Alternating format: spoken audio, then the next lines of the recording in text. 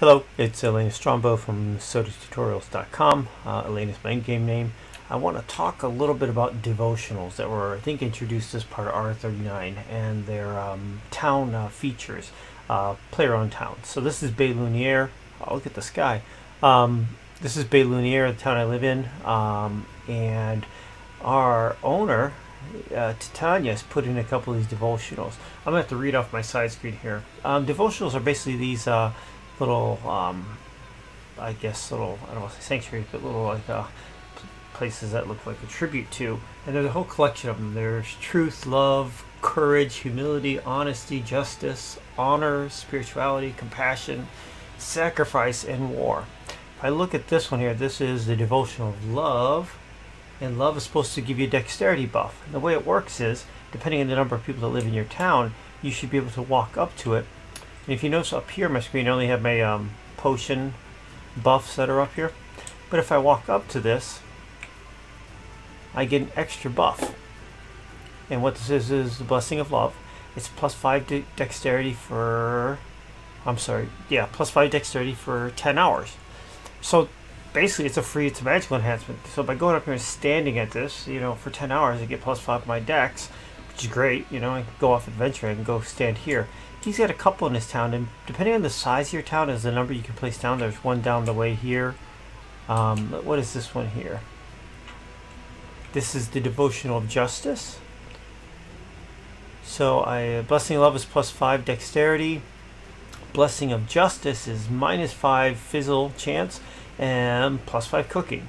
So if I want to be a better mage caster and be able to cook better, I guess I'd go here.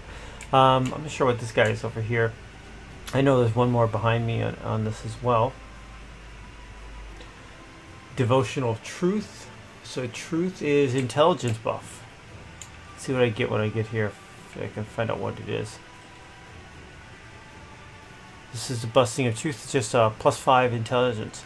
So that's what these devotionals are. Devotionals are. The town owners can put these, depending on the size, in the town. Um, you know, it's a free buff for 10 hours, uh, at least it is in this one. So you can just walk up to them and, and get a free buff and take advantage of it as you go out adventuring or crafting or not. There's a whole bunch. Um, said truth does intelligence, love does dexterity, courage does strength, humility is magic, revis- magic resistant and fishing bait recovery.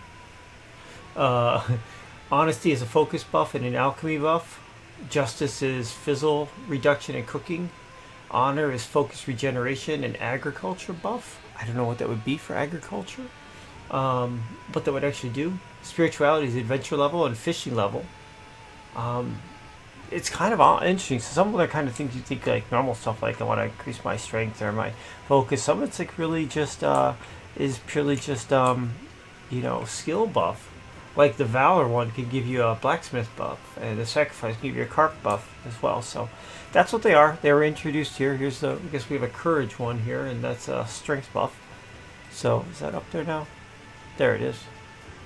Plus five of strength. So that's what the devotionals are. So you see popping up towns. Um, I think you can actually, you can try this. I, I, live in the towns. I guess if you come to a town that has one, like here, Bay you should be able to come and stand by this and basically you're honoring it and then get a buff as well. So that was it. I just want to talk about those. They were just re released recently and I've been seeing them up here in our town here and just want to mention what they were. Any comments, questions, leave them in the comment section of the video. Thumbs up, thumbs down, subscribing. Um, once again, it's Elaina Strongbow from SotaTutorials.com. Have a good evening.